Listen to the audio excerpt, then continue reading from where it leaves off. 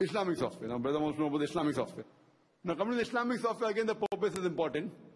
The purpose of the Islamic software, suppose a company has created a software of the Quran, of the Hadith, and spend a lot of money. And then, if that software is available in that country, in that city, and for you to save the money, instead of paying 5,000 rupees, you want to buy 200 rupees, then it is haram.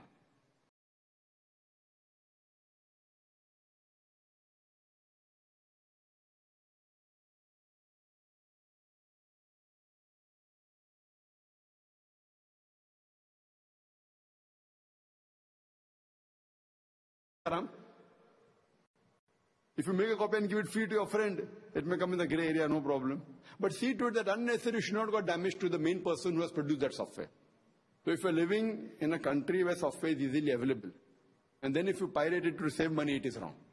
But if you're living in one part of the world where the software is not available, and you don't have knowledge of the Quran, want to search the Quran, want to study the Quran or Islam, etc., and then because of lack of availability, if you make a copy, inshallah, inshallah, I'll forgive you. But if you make it as a business, make copy and sell, then it is wrong. You can directly tell to the company, see so and so, so and so thing is there. I want to make copies and sell. Give me permission. With permission, no problem.